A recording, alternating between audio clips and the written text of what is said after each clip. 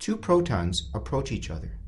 Protons have been accelerated to very high energy, practically the speed of light. Let's zoom in on one of the protons.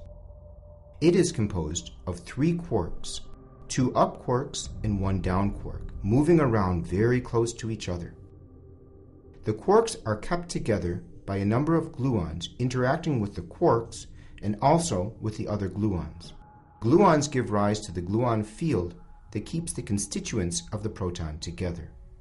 When the two colliding protons get very close and overlap, an energetic gluon is exchanged between two of the quarks of the protons.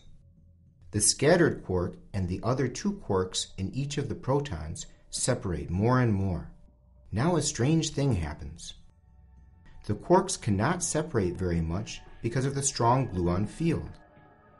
Instead of stretching the gluon field between the quarks further, the gluon field breaks by creating a new pair of quarks, a quark and an antiquark. The quarks continue to move apart from each other, once again stretching the gluon field between them. The gluon field breaks again by forming a quark and an antiquark pair.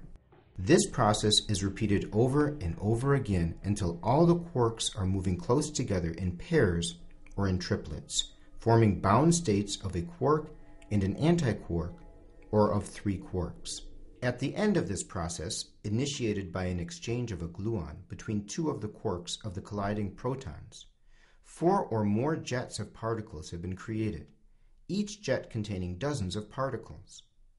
The jets of particles are remnants of a violent quark gluon interaction inside the colliding protons.